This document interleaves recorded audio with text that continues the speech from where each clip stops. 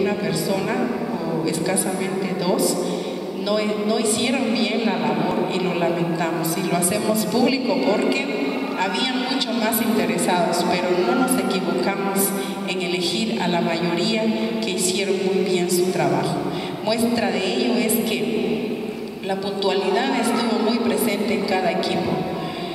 Eh, los equipos que se movilizaban de, de aquí del área del área del casco urbano hacia el área rural oscilaba entre 5.30 y 6 de la mañana, era el horario.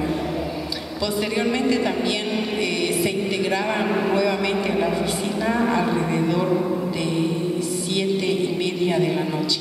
Y luego continuamos con nuestra labor, muy contentos en realidad, Creo yo que fueron muy pocos los que los conocimos enojados o disgustados por el cansancio, pero la mayoría traía una sonrisa todavía en el rostro, regresando empolvados y sudados.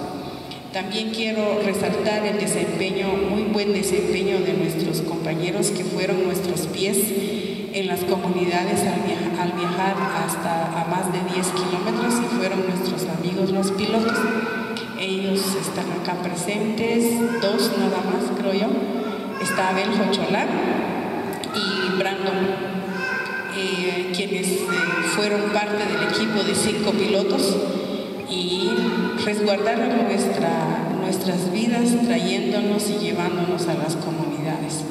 Finalmente entonces quiero Quiero hacer público que nuestra labor estuvo esencialmente en recoger la información únicamente, en hacer ese trabajo de campo. Tenemos prohibición de haber hecho, digamos, el conteo de la población, porque nuestra función era únicamente el trabajo de campo.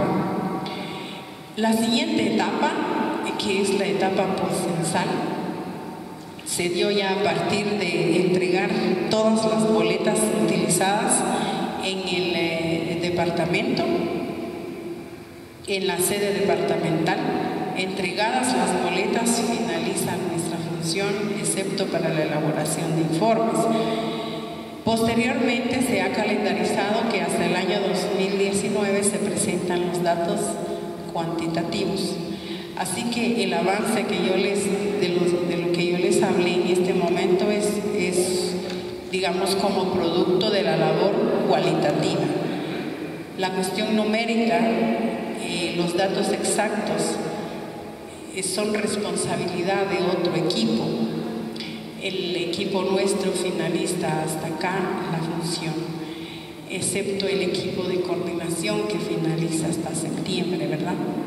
Entonces, finalmente, compañeros y miembros de la Comisión Censal Municipal, nos dio mucho, en realidad mucho gusto poder eh, servirle a la población en una labor muy, muy aparentemente sencilla, pero bastante ardua, porque requirió no solo la voluntad de los compañeros censistas y supervisores, sino también la voluntad de la población, quien, a quienes Mildred también ya mencionó en su momento, y Don Mari Pamela, porque en muchas de, las ocasiones recibieron a personas desconocidas.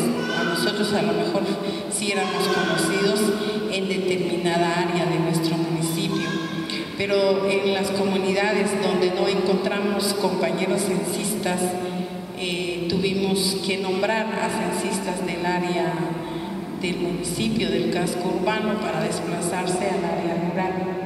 En tal sentido, creo que tampoco fue un obstáculo porque en la mayoría de casos sí se habla el idioma cachiquel y entonces podríamos hacer mención que en el área rural se censó al 100% en el idioma de los hablantes, no en el idioma de los censistas como lo exigen no solo en la realidad social de nuestro país, sino también por derecho de los hablantes, ¿verdad?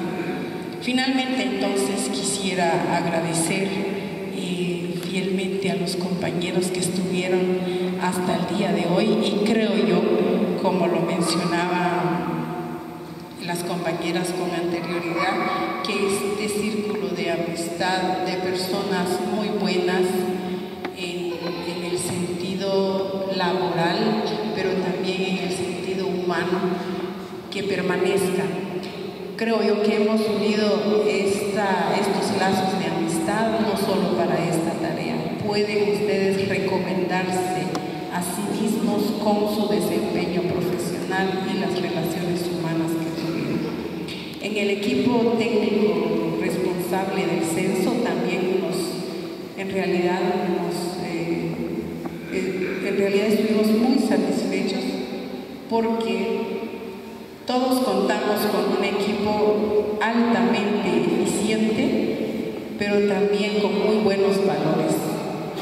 Para contarles que tal vez en un determinado momento se sentía inseguridad por el hecho de estar desplazándonos en altas horas de la noche en nuestro municipio fuera, fuera del casco urbano, pero teniendo a un compañero censista o supervisor al lado nos sentíamos seguros porque luego terminamos conociéndonos y creo yo que también la población lo sintió de esta manera. Finalmente, entonces, deseamos que los datos recabados sean eh, utilizados como base para cuestiones positivas y para el desarrollo de nuestro municipio.